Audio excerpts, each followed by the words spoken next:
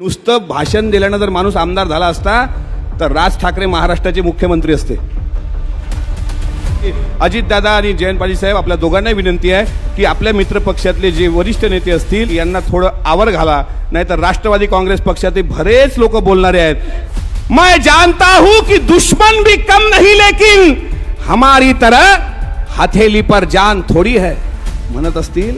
कभी वोटों के लिए मरे कभी नोटों के लिए मरे। अगर होते भगत सिंह तो कहते यार सुखदेव हम भी किन निकम्मे लोगों के लिए मरे। नुसतं भाषण दिल्यानं जर माणूस आमदार झाला असता तर राज ठाकरे महाराष्ट्राचे मुख्यमंत्री असते. पंधरावरून पन्नासवर तर गेलं असतं ना त्याची आमदार. नुसतं भाषण देऊन नसतं होत. काहीतरी सर्व सर्व नेते आहेत दादा आहेत जयंत पाटील साहेब आहेत अनिल देशमुख साहेब आहेत. सगळ्यांनी मला पहिला फोन अनिल देशमुख साहेबांचाच होता. म्हणून तू आमदार होणार आहे. म्हटलं बरं बरं.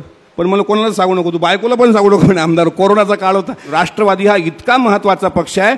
की राष्ट्रवादी पक्षावर बोलल्याशिवाय भारतीय जनता पार्टी आणि आमच्याच पक्षातले आमच्या पक्षाचे समर्थक असलेल्या काही पक्षातले काही वाचाळवीर मी ते नाव घेणार नाही तर मीडिया त्याचा उगा बवाल खडा करेल.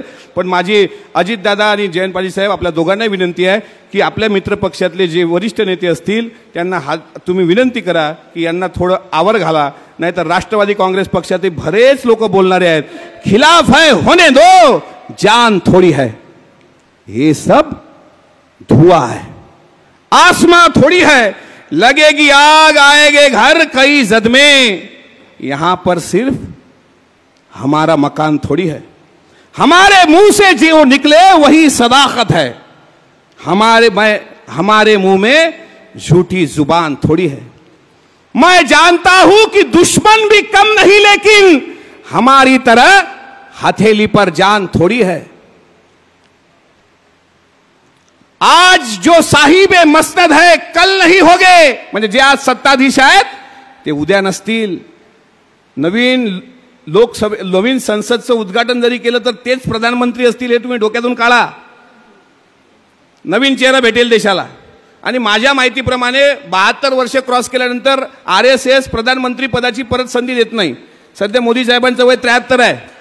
त्याच्यामुळे त्यांना परत संधी मिळेल की नाही याबद्दल माझ्या मनात साशंकता आहे. पण हा युपीमध्ये एन्काउंटर कशाकरता केलं गेलं? का दाखवलं गेलं? जाणीवपूर्वक का केलं गेलं? रात्री दहालाच का केलं गेलं? त्यांना दाखवायचं होतं की हे आता थकलेले आहेत हमारा आगे का चेहरा ये है. ये है. म्हणून आज जो साहिब मनसद है कल नहीं होगे किराएदार है जाति मकान थोड़ी है। अरे सभी का खून है शामिल इस मिट्टी में। इनके बाप का हिंदुस्तान थोड़ी है।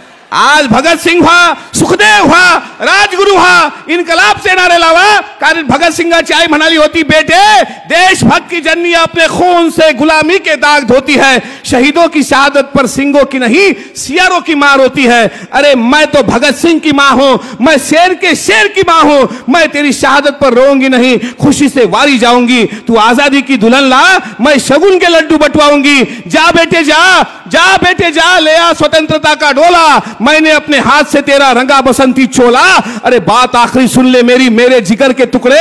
हँसते हँसते फांसी चढ़ जा। मेरे प्यारे पुतले, तन मन सारा यौवन तेरा इस देश पर मचले और इनकलाब हो होठों पर, जब प्राण तुम्हारे निकले। वयाच्या तेवीसव्या वर्षी, इनकलाब जिंदाबाद सा नारा देणारे भगत सिंग सुखदेव, राजगुरु, आज जर पाहत असतील ज्या नोटा बदलल्या ना म्हणत असतील कभी वोटो के लिए मरे कभी नोटो के लिए मरे अगर होते भगत सिंह तो कहते यार सुखदेव हम भी किन निकम्मे लोगों के लिए मरे.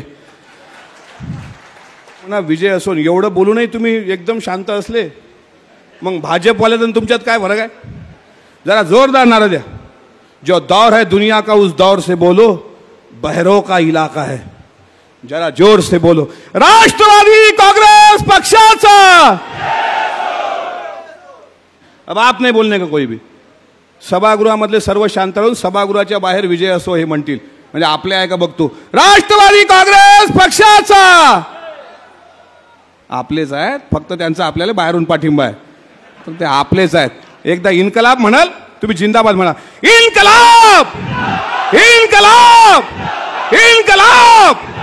धन्यवाद. जय हिंद जय भारत जय महाराष्ट्र जय राष्ट्रवादी. Thank you